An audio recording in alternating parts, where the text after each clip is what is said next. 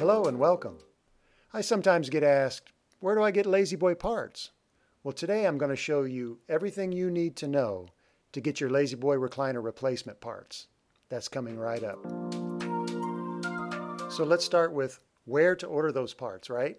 Well, you can go directly to the manufacturer at la-z-boy.com. Go to their customer service area and you can make your parts request right there. If you'd rather go through a dealer, like the store where you purchased your furniture, you can do that as well. If for some reason the store that you bought your chair at is no longer open or they no longer carry or service La-Z-Boy, you can try another dealer as well.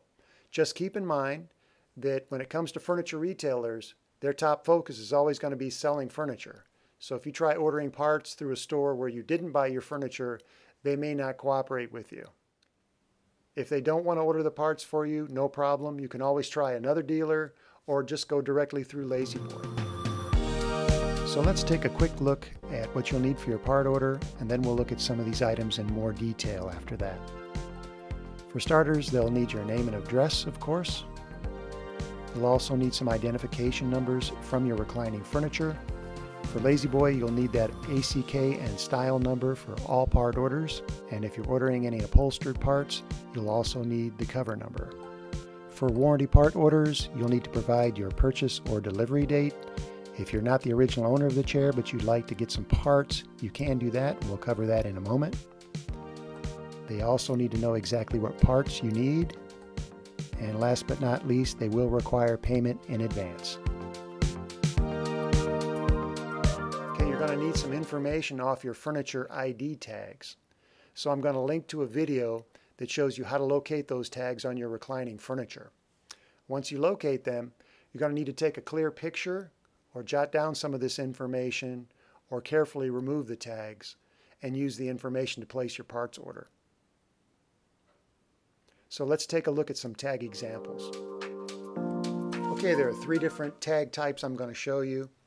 This first one is called a hang tag or a ribbon tag. When the footrest is in the open position, this tag can be found hanging down behind the open footrest.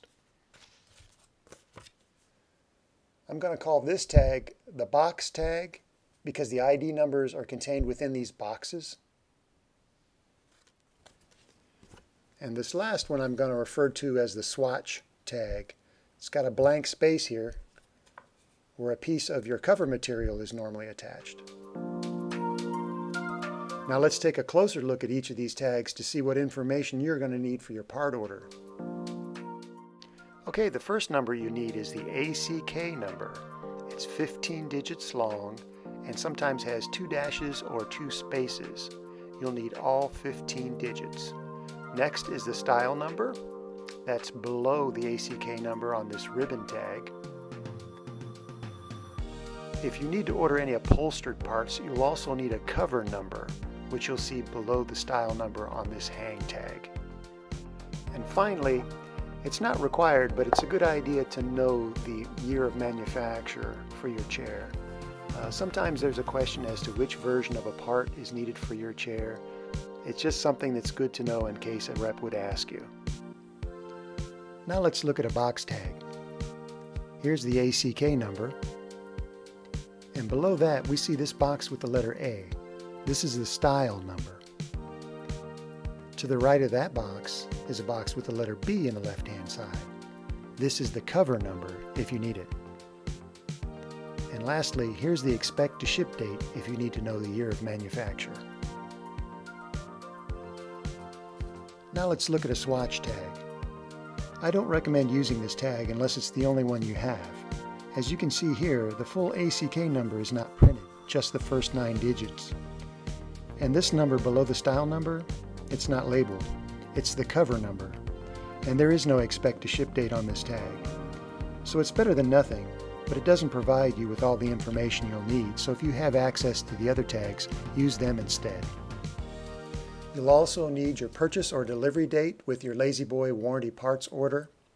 If uh, you no longer have your receipt, keep in mind you can always check with the retailer where you made your purchase. Just be aware that some of those stores only keep that information, those records, for a short period of time.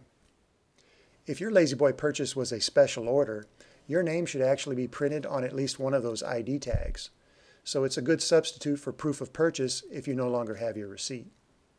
Now at the time of this video, La-Z-Boy does require a $13 part order processing fee. Now if you're not the original owner, can you still get parts? Yes. Maybe someone gave you a La-Z-Boy chair or you bought one used. What you want to do is request a quote up front. You want to know, first of all, if the parts are available, what the total cost for parts and shipping will be. Because depending on what you need, some La-Z-Boy parts can be rather expensive.